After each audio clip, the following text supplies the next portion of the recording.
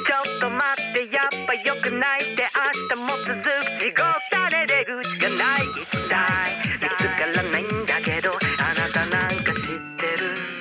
思えば出会いは単純だった狐の酒を食らったように玉がクラクラクラした。そして目が合った。一瞬の進行と引き換えに一生と心臓を渡す永遠続くファンと悪夢目覚めた時破く虫になっていたジャンクで汚れたこの声で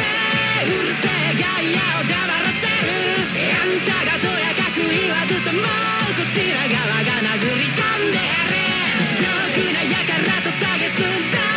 奴らの思考の外に出る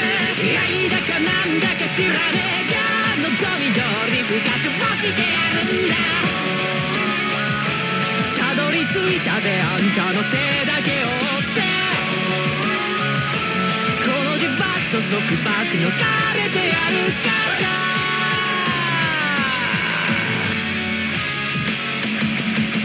ちょっと待ってやっぱまたループ like the back room 箱から口はない実際